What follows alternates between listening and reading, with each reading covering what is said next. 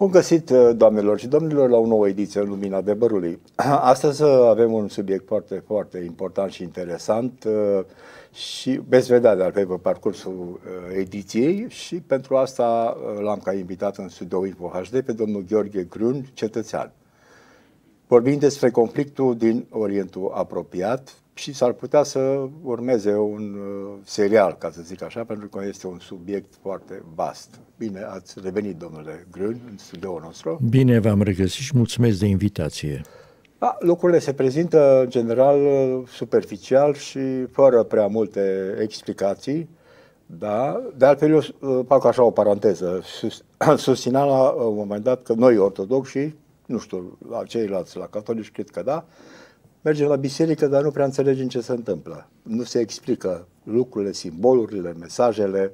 Deci asta se întâmplă de sute de ani, de o mie și de ani. Mai sunteți prea critic. Nu, așa e. Eu spun da. din experiența proprie. Da. Nu, da. Uh, problema este într-adevăr că se, mai mult se abandonează, de fapt, uh, practica religioasă în, în uh, Occident. Și aici includ și religia ortodoxă și religia catolică și protestantă și tot, este un fenomen de laicizare, din păcate, într-un fel. De ce din păcate? Pentru că religiile au rolul lor.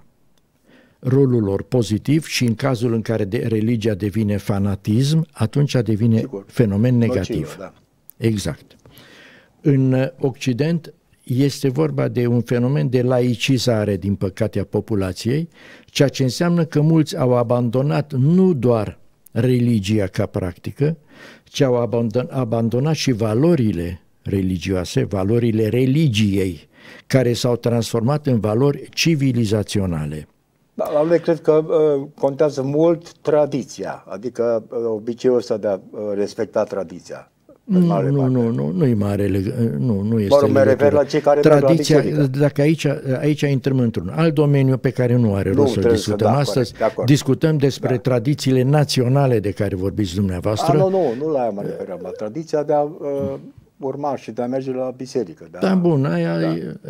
este o formalitate. Nici într-un caz, ok, da, fine, aici discutăm, atunci discutăm, discutăm despre, cum să spun, identitatea națională da, nu vreau și aia e, tot, e un alt subiect foarte okay. vast, da, da. foarte, foarte vast, pe care putem discuta altă dată. Da, de acord. Haideți ne întoarcem în da.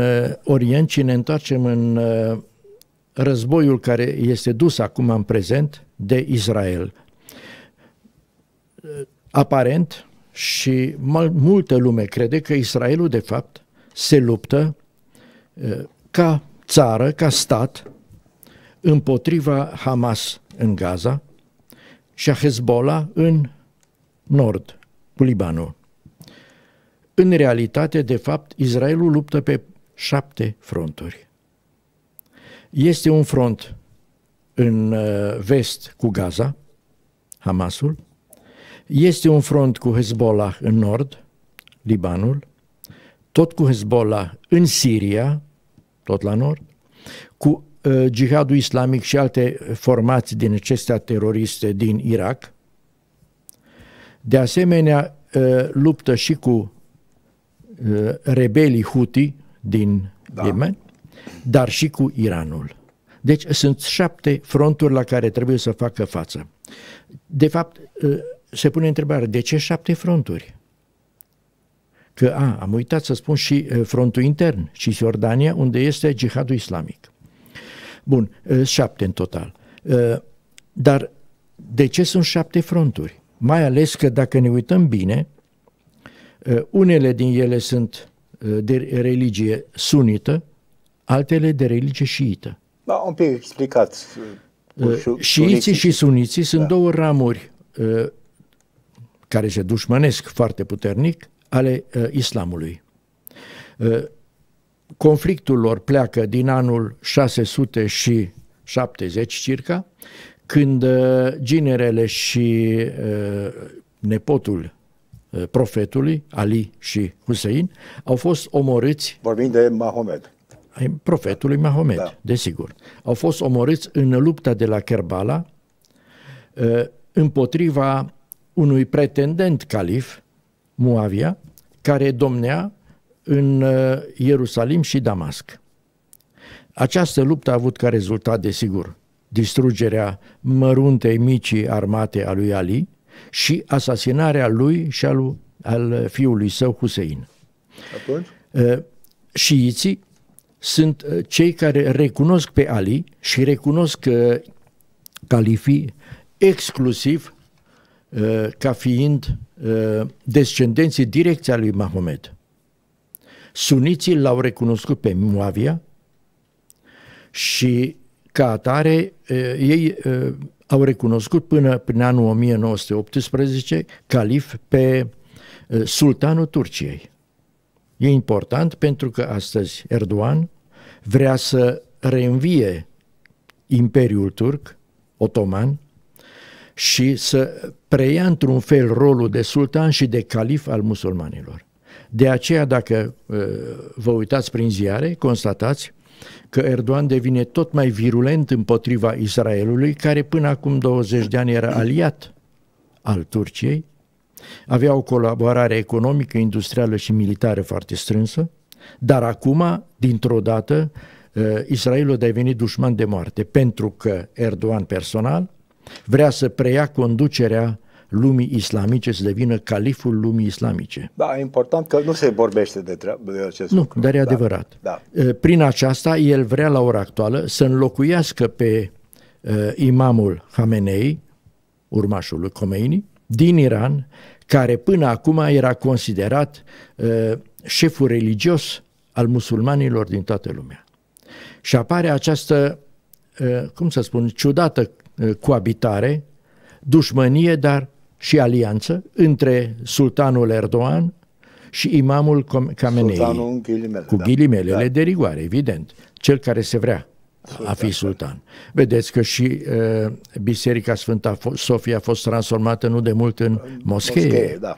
Și alte, alte, alte uh, monumente, uh, biserici creștine au fost transformate în Cu moschei. toate că au și fost uh, biserici înainte. biserici creștine. Da. Păi, uh, Asia Mică a fost una, unul din, din leagănele uh, creștinismului. Da? Corect.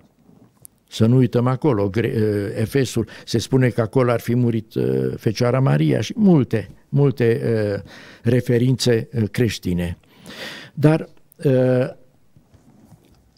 indiferent de ramura musl- musulmană, șiită sau sunită, la ora actuală s-au unit cu toții în, uh, împotriva Israelului. Ar fi bine să aruncăm o privire pe harta Orientului Mijlociu. Vă rog să afișați harta, da? Dacă ne uităm pe această hartă, constatăm un mic, aș zice un punct roșu pe care scrie Israel, undeva în centrul hărții. În jurul lui este gri și în partea din dreapta, din dreapta se, se găsește iarăși o pată roșie imensă, Iranul. Toată zona gri și cu Iranul sunt zonele musulmane care la ora actuală se împotrivesc existenței acestui minuscul stat de 22.000 de kilometri pătrați, echivalent undeva cu un județ din România, nu mai mare, dar care deranjează foarte mult.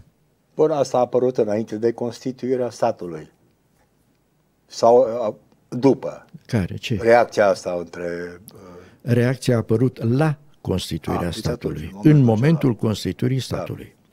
Uh, Israelul ca stat, dacă ne ducem puțin în istorie, a dispărut undeva prin anul, hai să, să-i zic, uh, 70, când Titus a dărâmat templul din Ierusalim și romanii au ocupat uh, Israelul și au făcut cea de-a treia diasporă în anul 70 și de atunci prezența evreiască a rămas sporadic, dar a rămas permanent în zonă. Harta o mai folosim, da? Uh, Nu, nu. Acum cred că putem Deci renunța putem la ea. să Da. scoatem. Și uh, am, uh, unde am rămas? deruzat, da. Da. Bun, uh, vreau să Bun. vorbiți despre Uh, apariția statului și Da. Din anul 70, când uh, Titus a uh, dat foc templului din Ierusalim, din anul acela, pe teritoriul actualului Israel au rămas în permanență uh, comunități evreiești. Și chiar mai mult, au rămas în tot Orientul, au rămas în Siria, în Irak, în Iran, în Iordania, în Egipt, au rămas comunități importante de evrei, urmarea diasporei, fie diaspora babiloniană, ă, fie ă, diaspora ă, după războiul cu romanii și mai departe. Au rămas foarte mulți. În 1947, după terminarea războiului mondial și după holocaustul a șase milioane de, de evrei la, în lagărele de exterminare, ONU a decis înființarea sau reînființarea unui stat evreiesc. Ca să nu fie probleme deosebite, ă, deci ă, rezoluția 180 a adunării generale a ONU a stabilit că în zona aceea, în fostul ă, protectorat britanic Palestina, să se înființeze două state, un stat evreiesc și un stat palestinian, arab îi zicea. Un stat arab și unul evreiesc. Motivul pentru care s-a ales acel loc fiind? Motivul istoric. Aha. Pentru că acolo a fost Israelul, Ierusalimul, nimeni nu poate nega că a fost un oraș evreiesc și așa mai departe. Așa, deci clar. Uh, uh, patriarhii toți erau în, domeni, în locul acela mormântați acolo și acolo a fost statul evreiesc. Deci o motivație uh, logică. Istorică, da. geografică, cum vreți să spuneți, da. logică. Dar problema a apărut imediat pentru că, deși evreii au acceptat această rezoluție, arabii și statele arabe au refuzat punerea în aplicare. Dacă în 14 mai 1948 Israelul a fost declarat ca stat într-o ședință din Tel Aviv, ceea ce nu însemna deloc că ar fi avut armată, o organizare, nimic, desigur. Era doar o declarație. Uh, cinci state din jur, și Egiptul, Iordania, Siria, Libanul, uh, Iranul au atacat imediat, în aceeași zi, au atacat Israelul cu armatele regulate. A început un fel de uh, război popular, aș zice, din partea evreilor stabiliți între timp în Israel – și ca rezultat în 1949 s-a făcut un armistițiu în care s-au stabilit niște teritorii pe care le ocupaseră unii și alții și s-a înființat acel Israel pe granițele armistițiului. Care există și da. astăzi. Nu, s-au mai modificat ah. de atunci, dar în principiu da. Acum, acest stat n-a fost acceptat de statele din jur. De ce n-a fost acceptat de arabii din jur? Mulți cred că din cauza că încă un stat în zonă nu dă bine. Nu prea corespunde cu adevărul, deoarece cu doi ani înainte s-a înființat regatul Hașemit al Transjordaniei, care în 49 a devenit Iordania. Nimeni n-a spus nimic. Era un stat musulman, desigur. Chiar dacă uh, regele Abdullah I, întâiul, era un rege de import, urmarea promisiunii englezilor făcute șerifului din Mecca. Fiul său, Abdullah, a fost numit emir și pormă rege al Transjordaniei și pormă al regatului Hașemit al Iordaniei. Și nimeni n-a obiectat. Chiar dacă regele nu era beduin, nu era palestinian, nu era, era, din, era un arab din Medina. Era altă miză sau nu era miză. Nu, nu, nu că nu era miză, nu interesa pe nimeni. Nu deranja pe nimeni. Ia că s-a înființat un stat, s-au trasat niște, niște granițe, nu interesa pe nimeni. Dar când Israelul s-a înființat, ce s-a întâmplat? A apărut o sămânță străină de civilizație străină. Civilizația reprezentată de Israel este civilizația europeană, civilizația occidentală cu valorile ei. În plus, ceea ce deranjează și mai mult este faptul că în decursul timpului, deși în 1947 la momentul de plecare, toți erau la aceeași linie de start. Deșert, sărăcie, uh, lipsă de resurse, apă puțină, uh, pământ de proastă calitate, uh, petrol zero și așa mai departe. În câțiva ani, Israelul a reușit să devină un stat prosper, unul din cele mai dezvoltate state din lume, în timp ce în jur toate celelalte state musulmane au rămas unde au fost. Sărace, supuse ajutorului și așa mai departe. Vedeți și dictaturi. Ă, deci a apărut aici primul conflict, prima ă, contradicție între cele două civilizații. Bun. Civilizația occidentală da și civilizația musulmană. Bun, vedem uh, tabelul? Propun să, să arătăm acum tabelul acela, tabelul... Da, difuzăm tabelul. Da, tabelul. Okay. Civilizația occidentală de sorginte iudeo-creștină și civilizația islamică. Și prin asta putem să ne dăm seama, normal, uh, și motivul pentru care Israelul a uh, ajuns la Absolut. forța care este și Absolut. deci au rămas ceilalți în urmă, da? Din păcate, da. Da, asta da. e. Dar uh, acest conflict este primul conflict civilizațional care, într-un fel, confirmă teza uh, emisă de Huntington în 1990 cu șocul civilizațiilor. O, o carte care a făcut mare vârvă și care, din păcate, se adeverește. Uh, foarte puțini politicieni occidentali au priceput faptul că la ora actuală Israelul se află în avampostul uh, luptei pentru apărarea civilizației occidentale față de civilizația islamică în expansiune.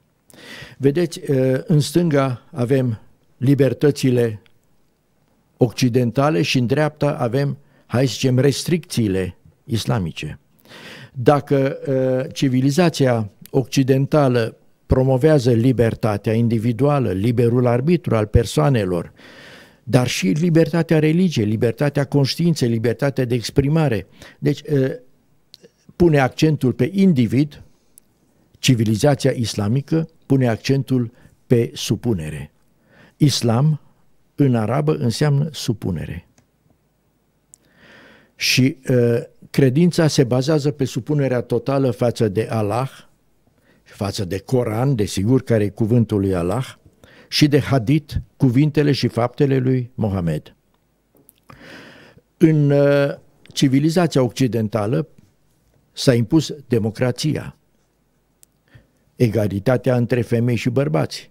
Și trebuie să o spun că pe vremea comunismului uh, nici nu ne dăm seama de fapt că este o egalitate aproape perfectă între rolul femeii și rolul bărbaților. Erau la fel angajați, fără discriminări, fără nimic. Mm, ceva diferență la salari, da? Oricum. Nu, la salarii nu. Un profesor și o profesoară aveau același salariu. Da.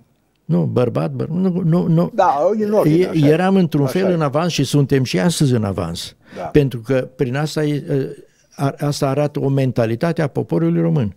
Indiferent că era comunism sau, sau uh, capitalism.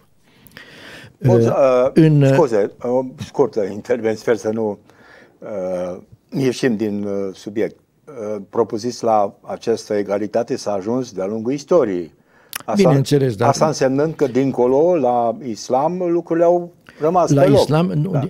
s-au întors poate și mai mult înapoi. Chiar s-au întors, uh, da. Vezi, dacă în Turcia acum deja impune vălul islamic, în Iran Uh, femei au murit, au fost omorâte, asasinate de poliția moravurilor pentru că au purtat în mod greșit vălul islamic.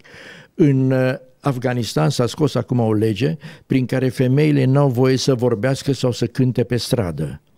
Sunt obligate să poarte uh, nu numai vălul islamic, dar și burca, să nu li se vadă nici măcar ochii eventual, că și în fața ochilor se pune un fel de uh, văl mai transparent prin care ele să vadă ceva, și, dar da. și așa mai departe. Da. Uh, femeile, practic, au un rol absolut secundar și, dacă se poate deloc, singurul lor rol esențial este procreația. Uh, în uh, societatea occidentală, în civilizația occidentală, uh, legea uh, civilă, legea, mă rog, nu codul civil, ci legea făcută de, de societatea civilă, penală și civilă, este cea care se aplică și ea se adaptează întotdeauna vremurilor, tendințelor și mai departe. În islam, în civilizația islamică, legea este una singură, Sharia, cea moștenită de la Mahomet din anul 622, când a făcut Hegira. În societatea occidentală, accentul este pus pe da, om și pe libertățile sale. Tabelul, că mai avem, sigur, lasă, da. În societatea islamică, rolul este pe comunitatea musulmană globală, pe umma și este un uh, sistem ierarhic. Bun, în... uh, care credeți că ar fi motivul pentru care s-a, uh, să zic eu, înăbușit orice formă de uh, progres și de Fanatismul schimbare? religios. Adică nu s-a propus, cum spune, s-a întors chiar, nu da. nici măcar nu... Da. da, pentru că a fost o perioadă oarecum mai liberală, hai să zicem oarecum.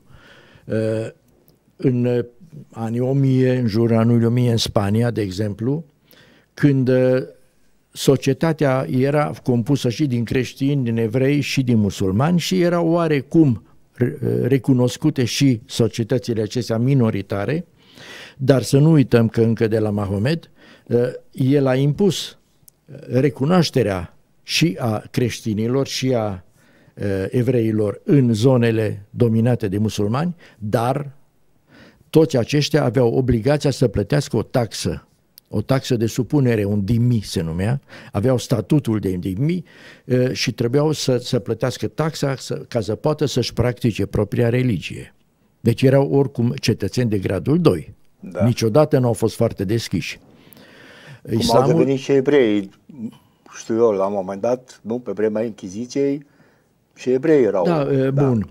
Dacă o luăm pe vremurile biblice, dacă ne întoarcem până acolo, da, atunci da, da, și da. evreii au fost la fel de intransigenți cu, cu A, păgânii. Asta era ideea, După aceea, da. creștinii da. au devenit intransigenți cu evreii și cu uh, cei care voiau să reformeze, cu reformatorii religiei, cu ereticii așa. Uh, și așa mai departe, dar da. sunt uh, faze depășite. Pe când islamul se află acum în această fază. În Pakistan, dacă cineva e acuzat, chiar și pe nedrept, că a blasfemat, că l-a înjurat pe Mahomet, să zicem, acela este linșat public, e asasinat în stradă. Sunt lucruri pe care noi cu greu ni le putem imagina astăzi. Dar ne întoarcem. Vedeți, mergând justiția socială, există dar religia de stat este obligatorie și uh, în școli e interzis să predai anumite teorii, anumite, deci teoria darwinistă, de exemplu, e interzisă în școlile musulmane.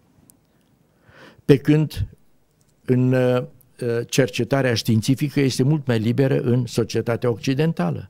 În societatea islamică, cercetarea științifică practic este Uh, limitată de regulile de uh, islamice și așa mai departe. Deci uh, există mari diferențe între aceste civilizații și între valorile pe care le promovează.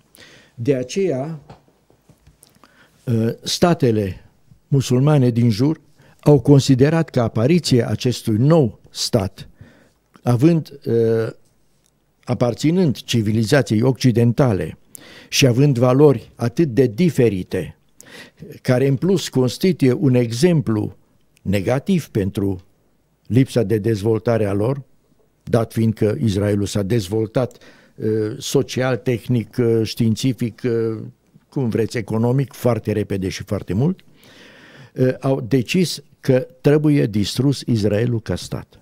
Acolo pe tabel mai se vorbește și de secularism, un termen care susține ceea ce a spus da. și ceea ce s-a întâmplat, o tendință De exemplu, în Franța? epocii moderne și actuale configurații politice europene de a considera viața umană în afara implicațiilor religioase. Absolut. Da. Franța din 1901 a devenit uh, stat laic. Altele nu s-au declarat laice, dar sunt. Și Anglia, Marea Britanie, și Germania, și România, și Ungaria, și Polonia. Polonia poate mai puțin, dar și acolo Biserica Catolică are încă un rol foarte important. Uh, idem Grecia în domeniul ortodox, dar uh, majoritatea cazurilor, secularismul de despărțirea bisericii de viața socială și de stat uh, este uh, un lucru realizat. În uh, statele musulmane acest lucru este inimaginabil. Acolo religia este cea care reglementează viața. Nu avem ce-i face, asta e. A, uh, Chiar ieri a avut, sau la altă da. ieri, a avut o declarație imamul Camenei, prin care a spus la toate apelurile de armistițiu și de pace că nu acceptă niciun armistițiu, și uh, Huti pe de o parte, Hamasul pe de alta și Hezbollah pe de a treia parte, vor continua lupta până la distrugerea totală a acestui cancer pe pământul sfânt al islamului, care este Israelul. Da, deci declarație de război.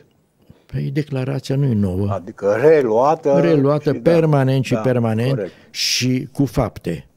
Rea- și nu numai da, reluată mai teoretic. tabelul sau nu? tabelul mai păstrăm? Nu, nu. Putem, Putem renunța la tabel, tabel da. și alt, acum nu mai luăm altă formă. Deci, lupta aceasta va fi continuată. Aici apare iarăși o ciudățenie. Statele europene cer toate, fără și chiar și Statele Unite, implementarea unui armistițiu.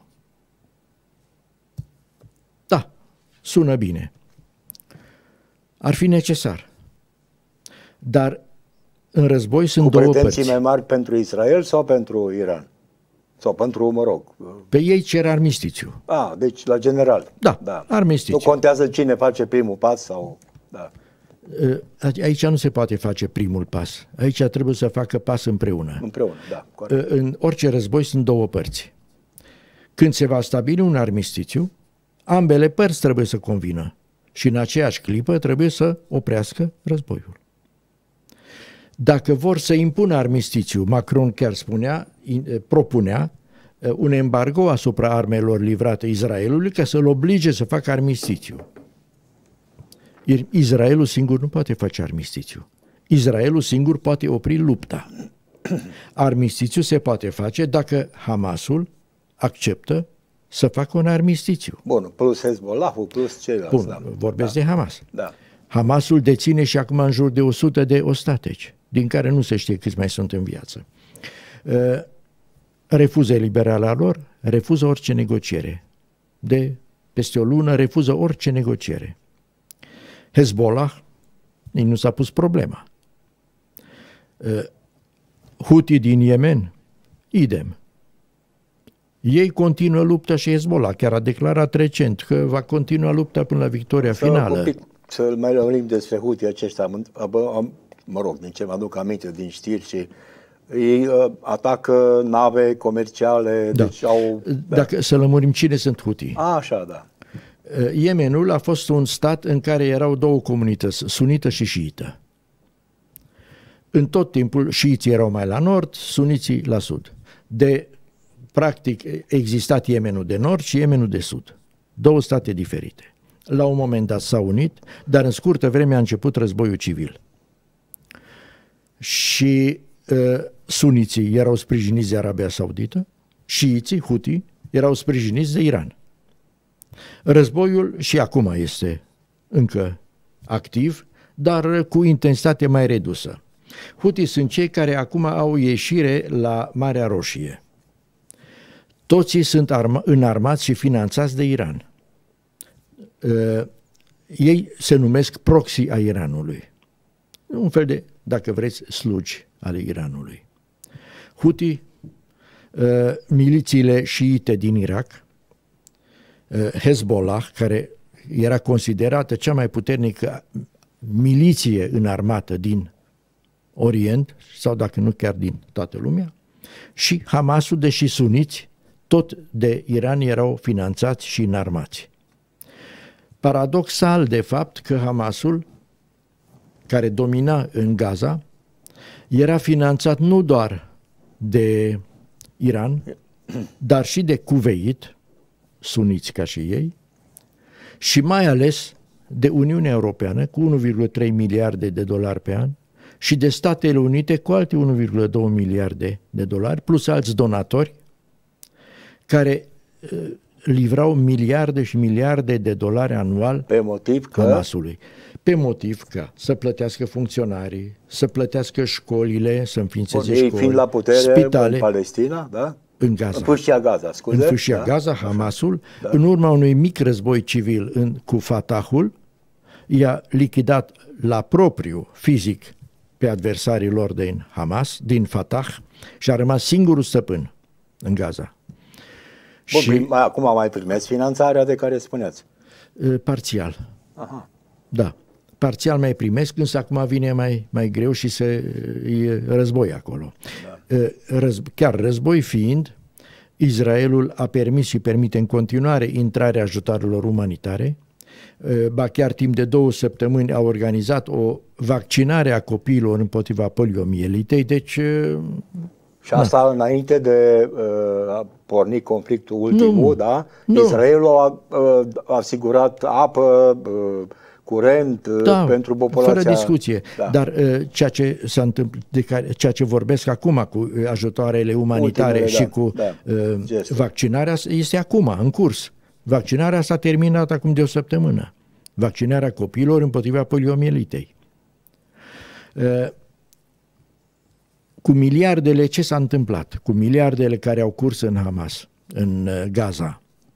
Hamasul întâi a făcut o rețea de tuneluri de circa 500 de kilometri. Vă dați seama ce cantitate de oțel, beton și ciment a fost necesară pentru această construcție și cât a costat această construcție.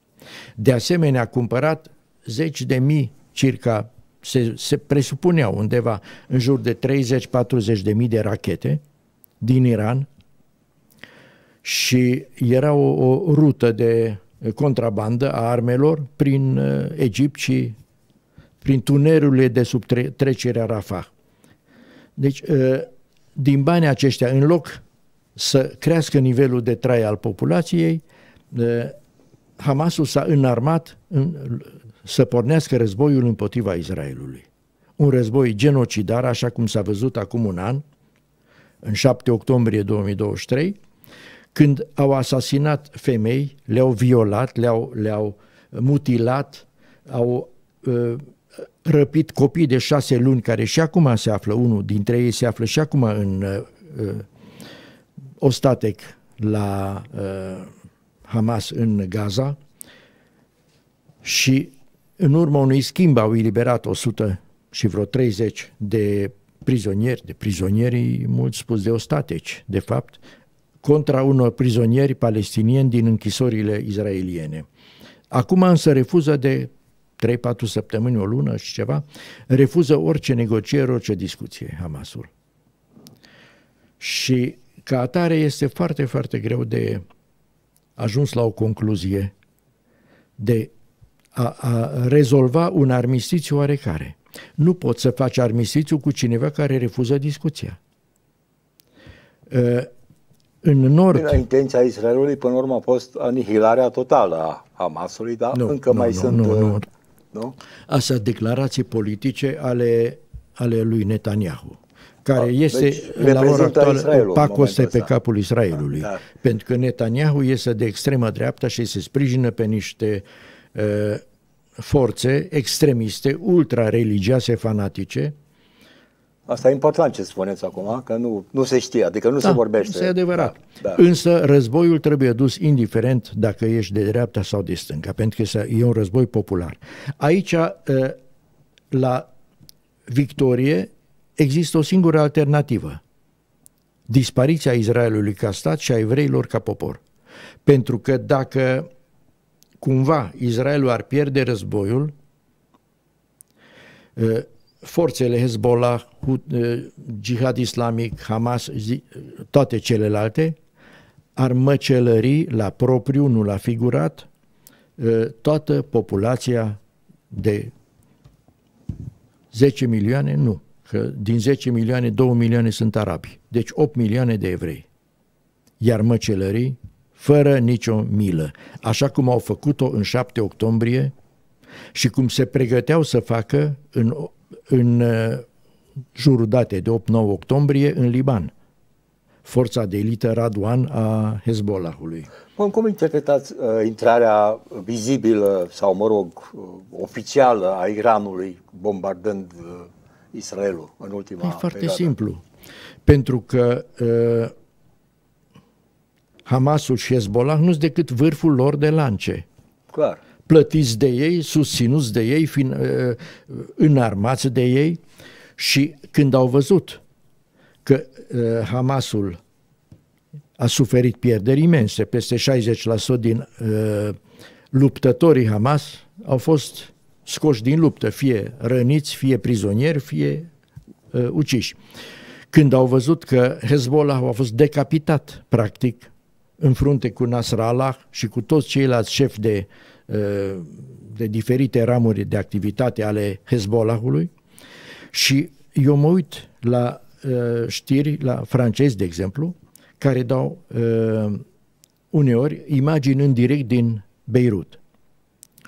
Și se vede cum s-a bombardat o clădire din Beirut, din sudul Beirutului, unde era fieful Hezbollah, și după ce bomba a căzut, timp de 10 minute, este un foc de artificii. Adică muniție și... Zboară chiar și se vede cum câte o, ra- o rachetă, o ia razna, începe da, da. să zboare, nu știu... Deci a fost depozit de Depozit arme. de, de muniții da. și nu unul, ci zeci de depozite de muniții în, ascunse sub clădirile civile. Aceasta este tactica arabă, din păcate, și chiar și uh, Sinwar, când încă era uh, vizibil și încă putea fi contactat de ziariști, a declarat șeful Hamasului, care actual e imposibil de localizat, e undeva prin tuneluri, a declarat că rolul poporului palestinian este să ajute și să uh, protejeze luptătorii care uh, luptă pentru dispariția Israelului. Deci rolul lui este să se sacrifice și să fie scut pentru luptători. De aceea uh, Hamasul își face centrele de comandă de obicei în școli, sub spitale și acolo depozitează arme, la grădinițe, școli. Da, cum vedeți uh, reacția Euro- în Europa? Așa multor, uh, să zic eu, persoane care protestează și care sunt pro-Palestina, da, anti-Israel sunt. și e o mișcare mare. Da, da. Dar uh, o clipă. Acum nu mai merge. Uh, aici este o, o situație destul de ciudată. Pentru că uh, Adică există, Acum. bănesc, o motiv, o, să zic da. eu, ceva, un, o cauză care aduce la asemenea din păcate, atitudine. Da, din păcate este, este o cauză. Uh, și cauza este foarte simplu de explicat. La ora actuală, uh, statele europene în special, și în special occidentale, nu mă refer la fostele țări Țară socialiste, da. Uh, sunt toate sub influența islamului. Acum mulți ani, când încă trăia, Gaddafi a declarat că dacă arabii, musulmanii, nu au putut să cucerească Europa prin forța armelor, o vor cuceri prin uh, fertilitatea femeilor musulmane. Deci e fantastic și nu, de lucrul ăsta nu se vorbește, adică nici măcar de faptul că sunt așa Nu, mulți pentru că e un lucru uh, foarte sensibil și care ține de identitate și de și identitatea are și este un domeniu destul de sensibil, identitatea națională. Putem discuta cu altă ocazie despre, despre ea, uh, că nu poți să refuzi identitatea franceză unui francez doar pentru că este musulman. Corect. De asemenea, ține de faptul că toleranța este unul din principiile de bază ale civilizației occidentale, că ajutorul celor aflați, ajutorarea celor aflați la necaz este iarăși unul din principii. Asta fără să existe selecție. Uh, bun, teoretic există, da. dar ei vin întâi pe teritoriul Franței, de exemplu, se face o selecție, depun cerere, uh, din cei 500 de mii, 300, 400 de mii știu. la uh, sirienii care au ajuns în Germania și în Europa și așa mai departe. Da. Nu numai sirieni. Da, da bun. Pakistanezi, ultimii... Uh, stați puțin, sirienii au fost pretextul, dar dat cu sirienii au venit și etiopieni, și eritreieni, și pakistanezi, și Bun, și cu ei s-a făcut și... selecție? Cu ei s-a făcut selecție? După ce au intrat în, în țară, După da. aceea. Aha. Dar uh, în Franța se numește OQTF, un ordin de părăsire a teritoriului francez. Cei care nu au fost acceptați au primit această hârtie. Ceea ce înseamnă că în decurs de 48 de ore ei trebuie să părăsească teritoriul francez. Acest lucru se întâmplă undeva în procent de 0,1%. Da. Statul mai prinde câteodată pe câte unul care face prea mare boacănă și îl, îl dă afară din țară. Da, din țară. Hai să zicem. Dar și asta e o problemă. Pentru că dacă este un algerian care a ucis o tânără franțuzaică sau un marocan, nu îi poate trimite în Algeria și Maroc, deși sunt cetățeni algerieni și marocani, pentru că Marocul și Algeria refuză să-i primească. Și nu uităm atunci, că ei au fost, Algeria și uh, Maroc au fost colonie franceză, uh, Algeria. Marocul era mai mult spaniolă. Da. Da. Uh, acum, uh, asta e una din probleme, că vin sute de mii de refugiați, imigranți, refugiați, hai să zicem, fug din, din, sără, din cauza sărăciei, fug de sărăcie, majoritatea cazurilor. Clar. Uh, se întâmplă să fugă și de război, cum au fost sirienii la un moment dat, dar acum nu mai e. Războiul s-a cam terminat în Siria. Acum, mai avem trei minute. Da. Cumva să ajungem la o concluzie referitor la islamizarea Europei. Da. Și uh, la ora actuală, în toate aceste țări occidentale, musulmanii reprezintă un uh, rezervor de voturi. 10%, iertați-mă, contează la vot. Și ei votează în de Franța, obicei? de obicei, sau mă rog, prin tradiție, antisemitismul era de obicei de extremă dreapta. La ora actuală, extrema dreapta, mai puțin, poate în Germania, Austria, nu știu, dar în Franța, extrema dreaptă nu mai e antisemită. În schimb, a devenit antisemită extrema stângă, pentru că uh, ochismul, această corectitudine politică dusă la extrem, uh, apără pe, așa zis, și colonizați de colonizatori și încă nu se știe din ce motiv sau cu ce pretexte uh, Israelul e considerat colonizator pentru că în 48 a apărut acolo. Ei zic că au colonizat. Ah, eh. Să explicăm un pic ce, uh, ce înseamnă antisemitism. E o diferență esențială între antisemitism și rasism. Sper să pot să, să o spun în două, două minute. Uh, și atunci înțelegem și semnificația. Corect uh, ura față de evrei, de exemplu, e antisemitism. Uh, dar care e diferența față de rasism? Este rasism sau nu este? Nu este. Rasismul este uh, ideea de a considera că anumite popoare sunt inferioare. Ca atare, poporul superior are dreptul să-i stăpânească, să îi transforme în slugi, în servitori, și să profite de pe urma popoarelor inferioare, intelectual, economic, mă știu eu, social, tot, ziceți cum vreți. Acesta e rasismul. Asta a, a avut legătură cu al doilea război mondial? Era, se nu. poate integra în povestea asta cu anti... Cu... Nu, nu, nu, nu, nu, nu, nicio legătură. Asta este atitudinea actuală de rasism și antirasism și antisemitism. Rasismul este, de exemplu, să consider pe negru în, în America rasistă, uh, albii consideră pe negri inferiori și de aceea au făcut sclavi, slugi și așa mai departe. Ăsta e rasismul. Da.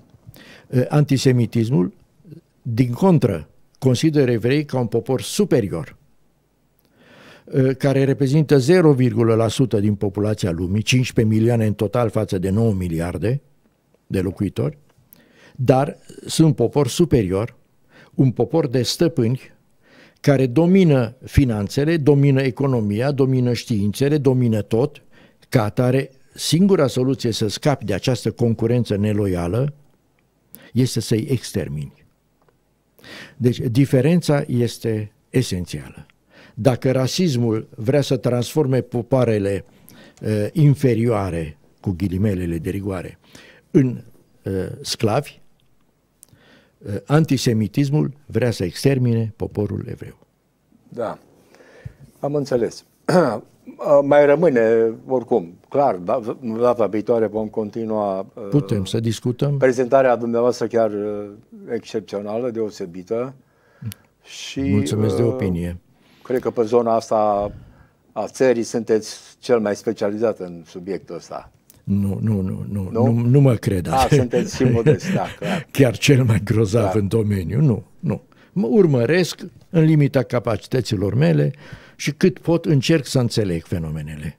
Am înțeles. Mulțumesc tare mult, sănătate vă doresc și să ne vedem cu bine la uh, ediția următoare. Dragi prieteni, a fost ediția de astăzi. Sper că ați uh, aflat și uh, s-au lămurit niște lucruri care de obicei sunt prezentate destul de superficial și uh, ați petrecut o, o 45 de minute în mod uh, agreabil. Numai bine, la revedere!